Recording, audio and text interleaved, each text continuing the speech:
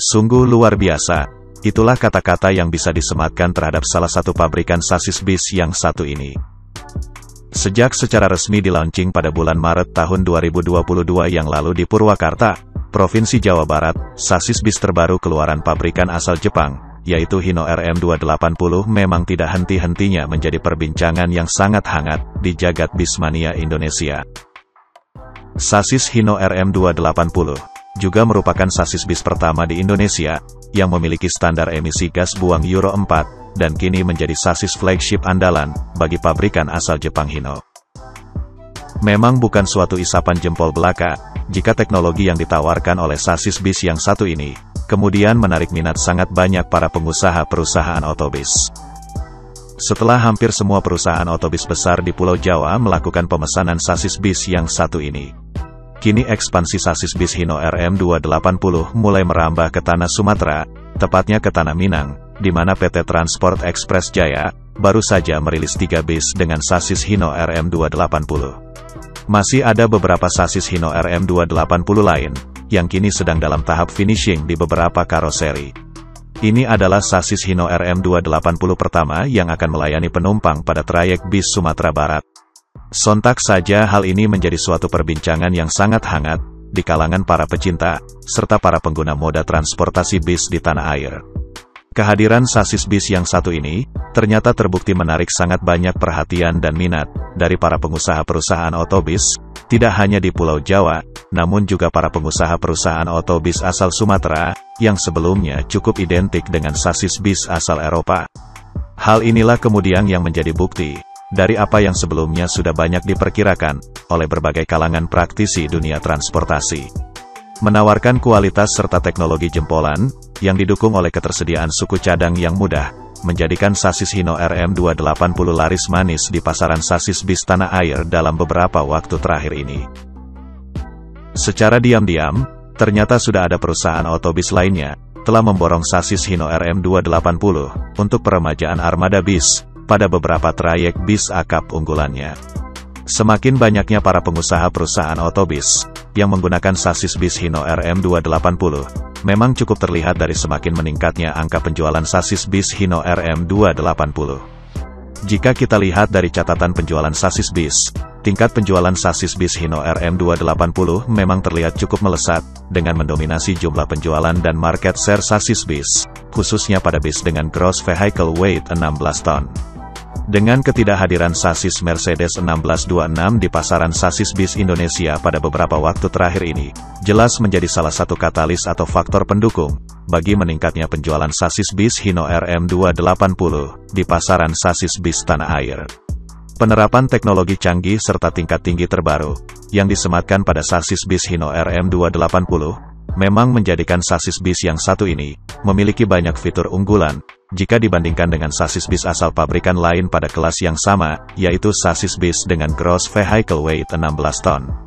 Hal inilah yang menjadi alasan, meningkatnya minat para pengusaha perusahaan otobis, terhadap sasis bis Hino RM280. Jumlah pengusaha perusahaan otobis yang menggunakan sasis bis Hino RM280, semakin hari terlihat semakin banyak.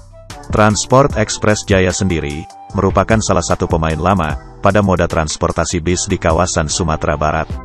Kehadiran manajemen baru dari PT Transport Express Jaya, juga menghadirkan peremajaan armada bis, sekaligus merupakan tonggak bersejarah, dalam peningkatan pelayanan kepada para pelanggan setianya. Kini Transport Express Jaya menghadirkan layanan bis mewah, yang disebut Kudo Gadang, dengan menawarkan bis dengan kursi yang dilengkapi legress, sehingga memberikan tingkat kenyamanan yang lebih baik kepada para penumpang. Sasis bis Hino RM280 sendiri, saat ini merupakan sasis bis flagship atau sasis unggulan, dari Hino Motor Sales Indonesia. Hadirnya sasis bis Hino RM280, di pasaran sasis bis Indonesia, memang langsung memberikan gebrakan yang cukup mengundang decak kagum, khususnya pada kelas sasis bis dengan gross vehicle weight 16 ton. Mengadaptasi sistem sasis space frame, hal ini menjadikan bis dapat memiliki volume bagasi yang jauh lebih besar, sehingga akan memberikan keuntungan yang lebih banyak, bagi para pengusaha perusahaan otobis. Apalagi untuk bis dengan jarak trayek yang cukup jauh, di mana para penumpang dapat dipastikan membawa barang bawaan yang cukup banyak. Selain itu, Volume bagasi bis yang lebih luas dan besar, pada akhirnya juga dapat menambah pemasukan bagi para pengusaha perusahaan otobis, khususnya pendapatan dari paket yang dikirimkan. Antusiasme tinggi dari para pengusaha perusahaan otobis kepada sasis Hino RM280 yang merupakan sasis bis flagship garapan pabrikan Hino asal Jepang ini, memang cukup masuk akal. Bukan saja menawarkan banyaknya teknologi canggih terkini, sasis bis yang satu ini juga banyak dilirik, karena alasan pelayanan purna jual, serta jaminan ketersediaan suku cadang bis, yang diberikan oleh pihak Hino Motor Sales Indonesia, sehingga memberikan rasa nyaman dalam berinvestasi bagi para pengusaha, dan para pemilik perusahaan otobis. Suku cadang Hino sendiri sudah sangat dikenal memiliki harga yang cukup murah, serta sangat mudah untuk didapatkan. Hal inilah yang kemudian, menjadikan investasi dari para pengusaha perusahaan otobis pada sasis bis yang satu ini, menjadi lebih menguntungkan. Masa waktu operasional bis di atas aspal jalanan menjadi jauh lebih tinggi, dikarenakan pendeknya masa perbaikan. Jika terjadi kerusakan, dengan adanya ketersediaan suku cadang yang sangat mudah didapatkan. Sasis bis Hino RM280, yang dibanderol dengan kisaran harga 1 miliar rupiah, ternyata juga menjadi magnet yang cukup kuat di sasis bis yang satu ini, untuk akhirnya menjadi salah satu sasis bis, yang dalam waktu dekat akan membanjiri aspal jalanan di Indonesia. Hal ini kemudian mengingatkan kita, kepada sasis asal pabrikan Hino yang cukup legendaris, yaitu sasis bis Hino RK8, yang sangat banyak digunakan di pangsa pasar bis tanah air.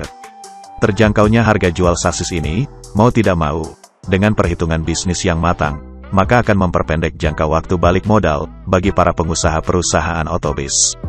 Hal ini cukup terbukti di mana pada beberapa waktu terakhir, cukup banyak perusahaan otobis, baik yang bergerak di bidang bis akap ataupun bis pariwisata, yang mulai merilis armada bis terbarunya, dengan menggunakan sasis Hino RM280, dari berbagai karoseri di Indonesia.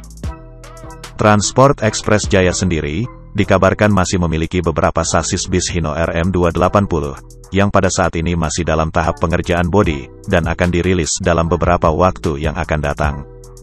Kehadiran Transport Express Jaya sebagai salah satu pengguna sasis bis Hino RM280, dapat dipastikan akan segera diikuti oleh beberapa perusahaan otobis lainnya di tanah Sumatera. Mari kita tunggu, perusahaan otobis mana lagi yang akan segera meluncing bis dengan sasis Hino RM280.